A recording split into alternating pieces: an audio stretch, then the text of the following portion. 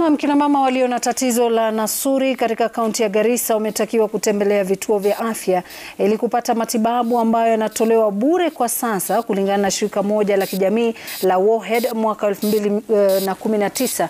Kina mama 399 walipatikana na tatizo hilo ambapo 185 kati yao walitibiwa kikamilifu. Na akizungumza katika maadhimisho ya siku ya nasuri duniani, mkurugenzi wa shirika hilo alitaja ukeketaji kama chanzo cha kuongezeka kwa visa vya kina mama kwa tatizo hilo hasa wakati wa kujifungua. Na ndoa za mapema pia inasemekana kuchangia pakubwa wasichana wanapoozwa wakiwa na umri mdogo.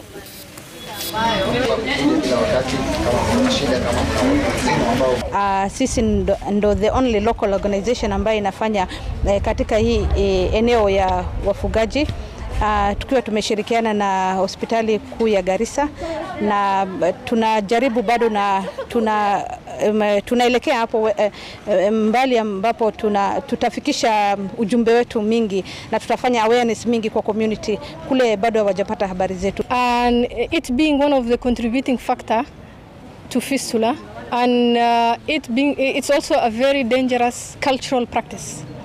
So i will urge my community i'll urge everyone to kindly stop fgm Tunaendelea kuhamasisha akina mama kuhusu fistula, tunawatafuta, tunawapeleka hospitali, wanatibiwa.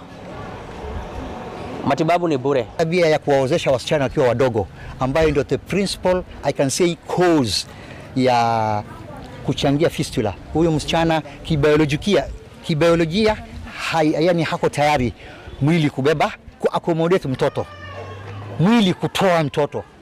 mwanaume jibaba mkubwa anaozewa wa 40 years, msichana 13 years anakuja anampasua pasua, anamharibu. Fistula inatokezea na mambo kadhalika kadhalika.